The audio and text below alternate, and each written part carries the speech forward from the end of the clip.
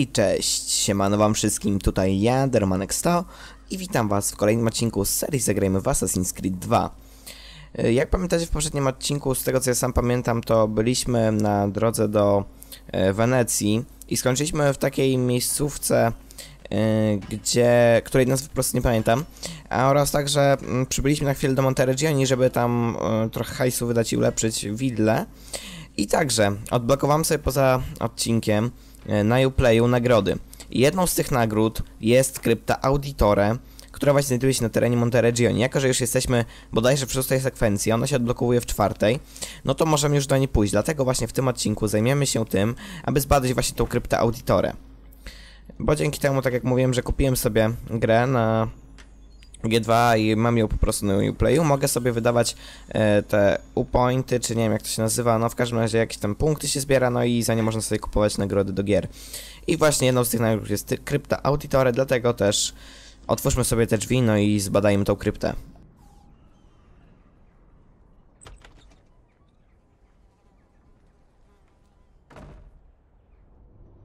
Tak więc mamy chwilę wczytywania.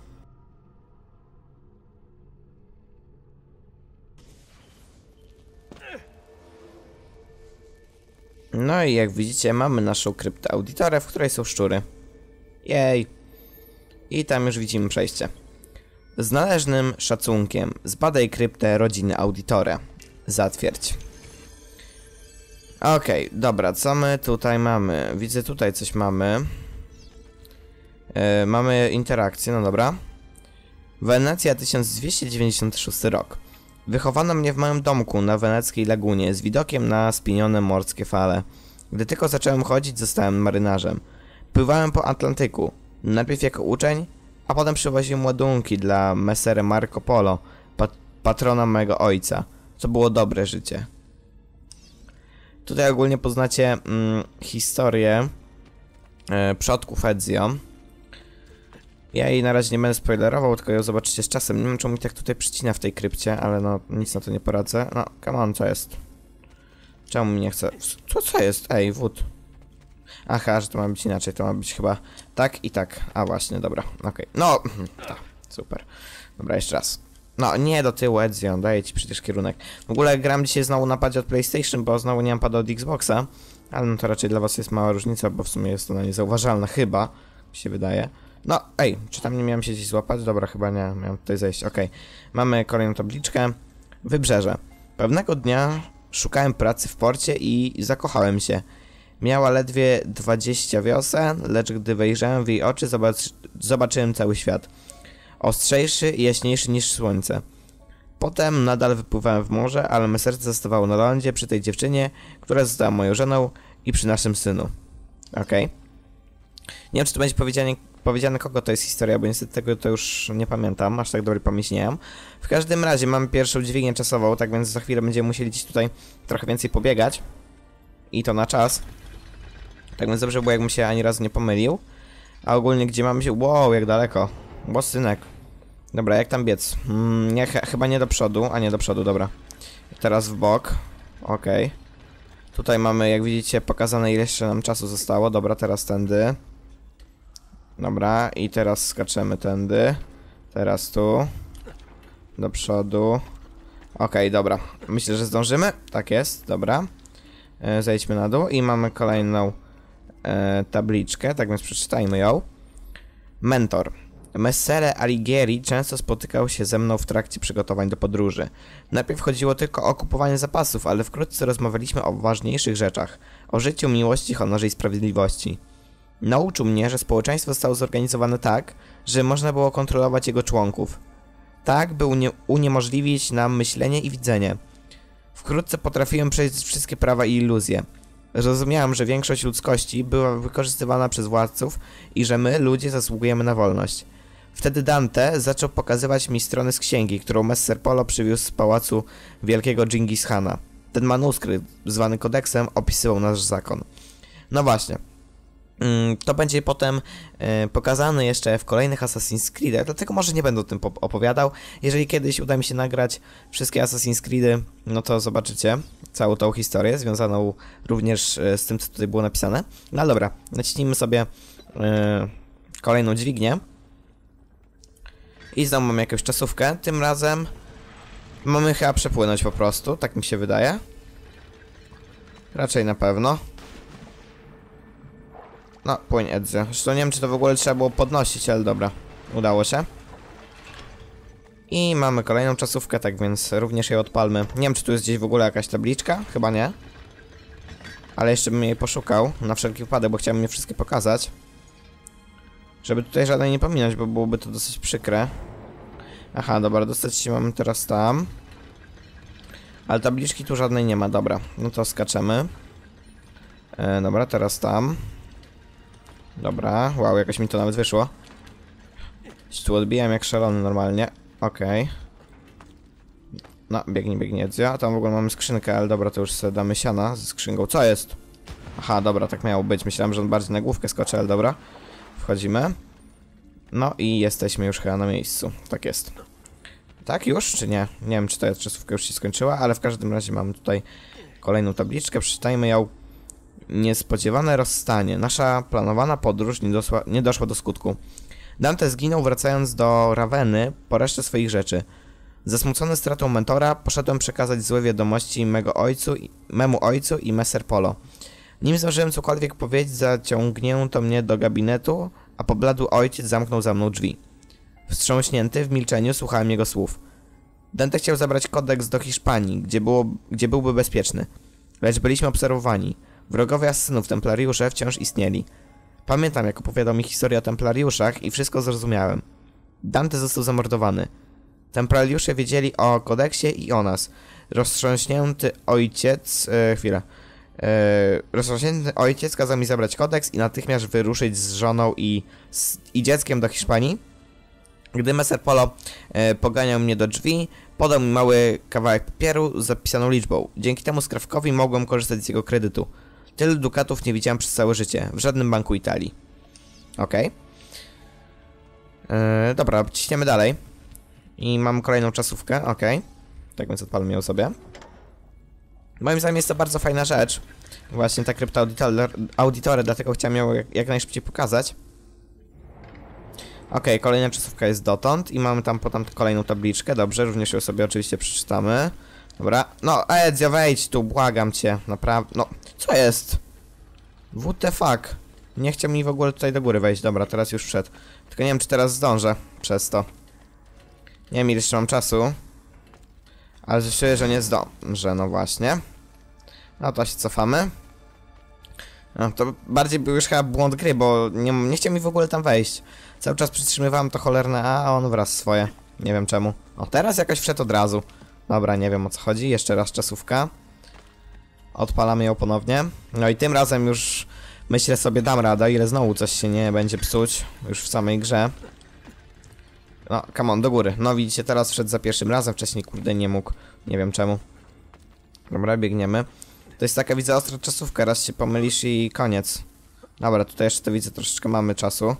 Dobra, okej, okay, udało nam się. No i mamy kolejną tabliczkę. Na morzu. Wypłynęliśmy tej samej nocy. Okręt był załadowany towarami przeznaczonymi na sprzedaż na targowiskach Barcelony. Z początku wszystko szło dobrze. Potem, żeby uniknąć zbliżającego się sztormu, zakończyliśmy w porcie od Ranto. Okej. Okay. Pod osłoną ciemności zjawili się piraci. Zauważyłem ich dopiero, gdy wchodzili na mój okręt. Razem z rodziną ukryłem się w ładowni. Wyciągnąłem kodeks, dotknąłem dłońmi wytartej skóry i nagle rozpadł się grzbiet. Kartki bezgłośnie wylądowały na podłodze. Popychałem je w kuchrach, skrzyniach i pojemnikach, które miałem sprzedawać. Ludzie, którzy nas znaleźli, byli pijani. Czumy to w ich oddechach. Kiedy spytali o kodeks, domyślimy się, kto ich przysłał. Tłumiąc gniew, powiedziałem, że wyrzuciłem go za burtę. Zaczęli się śmiać. Dwóch mnie przytrzymało, wciąż rechocząc, pozostali rozciągnęli ubranie mojej żony. Błagało o litość, dopóki nie załamał się jej głos. Kiedy skończyli, wyrzucili ją do morza. Zabrali mój ładunek, zatopili okręt i zostawili mnie dryfującego na kawałku reli relingu. Okay. Wraz z synem dotarło na plażę, następnego ranka przepływ wyrzucił na brzeg ciało mojej żony. No właśnie. I to jest właśnie historia tego, jak w ogóle e, kodeks pojawił się w Italii. Właśnie tutaj. I dlaczego jest on rozsiany tak właściwie po całej Italii? Dlatego, że on był w różnych skrzyniach i tak dalej. I teraz właśnie skrzynie y, mamy okazję zbierać. Dobra, kolejna czasówka. Lecimy z nią. Okej. No i dobra, gdzie doskakać mamy? Mamy doskakać... O, tutaj. I to już będzie chyba ostatnie. E, ostatnia czasówka, jaką mamy w tej krypcie. Tak więc jeszcze sobie w tym odcinku coś zrobimy, co to jeszcze nie wiem. Pewnie misję główną, tak mi się wydaje. Udamy się właśnie do tej lokacji, której nazwy nadal nie wiem i w sumie mogłem to sprawdzić, ale no już trudno. Okej, dobra, zdążyliśmy. No i mamy także już ostatnią e, tabliczkę, tak więc przeczytajmy ją. Nowe imię. Nigdy więcej nie użyłem, nie użyłem morza. Dotarłszy do Florencji, wynająłem mały pokój i poszedłem do banku. W mojej pamięci tkwił wyryty numer, jaki podał mi swego czasu y, Polo. Mając do dyspozycji olbrzymią sumę, udałem się w, po- się w przebraniu do Wenecji, żeby odszukać ojca. Następnego dnia wróciłem do Florencji. Polo i mój ojciec już nie żyli. Od tamtego czasu zbierałem traktaty o architekturze, studiowałem języki klasyczne i uczyłem się śpiewu. Przyjąłem nazwisko Auditore, udając szlachcica z florenckiego dworu. Przyjemnie jak swego, brałem udział w ich intrygach i zbudowałem tam willę dla mnie i mego syna. A potem zacząłem na nich, na nich polować. E, wychowałem syna na wojownika, który znajdzie kodeks i będzie zabijał templariuszy. Razem pomścimy honor mojej żony i śmierć mojego ojca. Tych dwóch rachunków nigdy nie uda e, się wyrównać. Do audytora, który to czyta. Pamiętaj, że nie jesteś szlachetnie urodzony. Nie jesteś jednym z oszustów, jesteś jednym z ludzi. Pomści nas. No właśnie, i to chyba właśnie pisał założyciel willi, czyli pra, pra, dziadek chyba, albo pra, pra, pra, dziadek e, Ezio. No właśnie. Dobra, e, otwórzmy to. Nie wiem, czemu się otworzyć nie chce. Dobra. I za chwilę będziemy na miejscu. Okej. Jak widzicie, mam tutaj dwa sarkofagi i mamy także e, skrzyneczki, tak więc sobie zaczniemy właśnie od skrzyneczek. Zawsze to jakieś tam dodatkowe pieniądze. To być może od razu pójdziemy sobie trochę wildę ulepszymy, bo trochę podejrzewam z tego będzie. Dobra, tutaj już mamy wyjście, czyli tego nie chcemy. I jeszcze nie. Nie wiem, czy w tych sarkofagach to coś jest? Chyba nie ma, tu po prostu jest ten skarb i tyle. To wiecie, takie trochę fabularne, wiecie. Nie wiem, czy to można nazwać wprowadzeniem, po prostu mm, takie rozbudowanie fabuły. O, może tak to można nazwać. Dobra, w każdym razie wspomnienie synchronizowane krypta rodzinna zbadana. Tak więc spadamy z powrotem do Monteregioni i teraz pewnie jeszcze dostaniemy ze 2000 za misję, no nawet 3.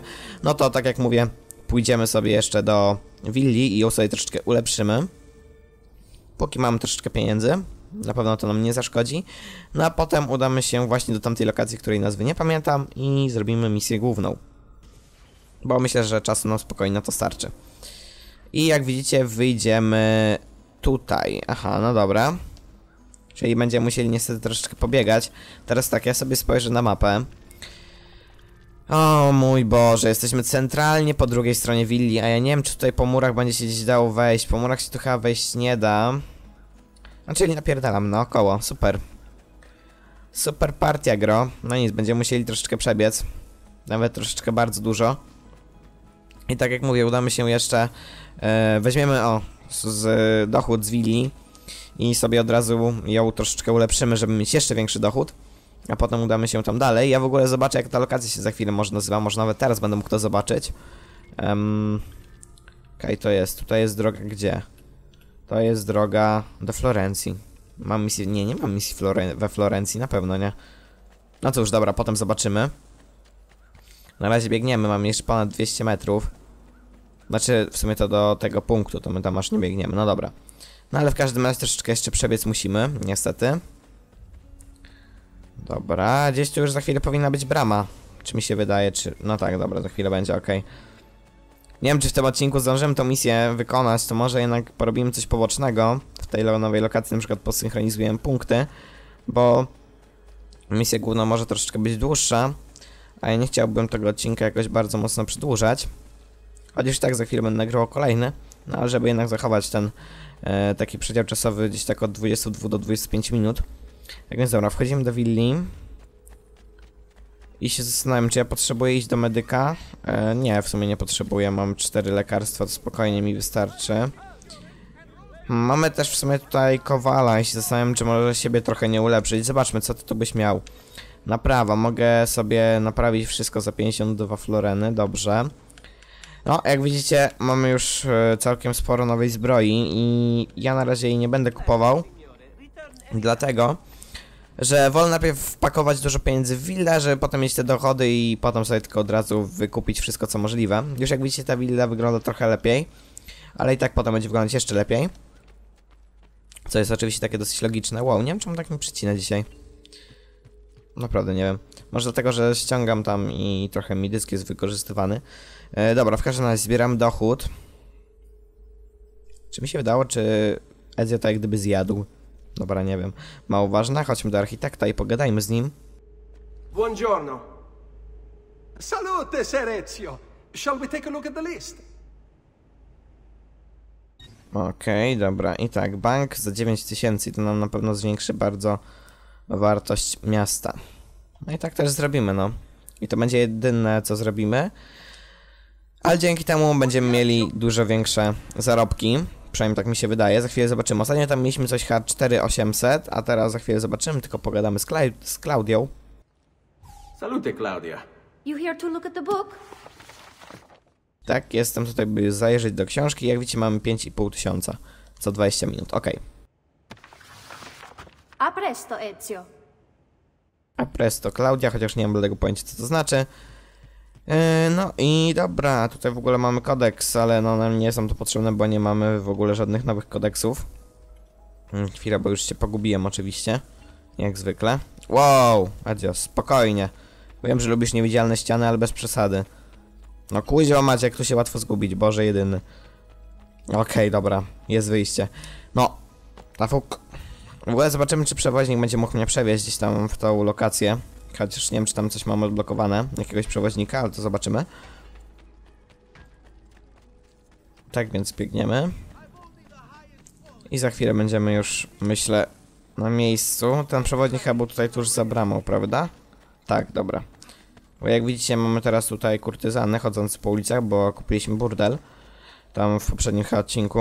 Mm, dobra, mamy e, podróż. Dobra, weźmy sobie, zobaczmy. A, to była Romania Forli. Dobra, Forli to się nazywało, no tak. I teraz tak, możemy Doki albo po prostu Forli. I się zastanawiam, gdzie właśnie pójść. Dobra, powiedzmy, że tutaj. I tak jak mówię, ewentualnie sobie porobimy punkty widokowe. Myślę, że to będzie dla nas najlepsze. Schustanie posłańca bordziów może przynieść odpowiednią nagrodę, wiem.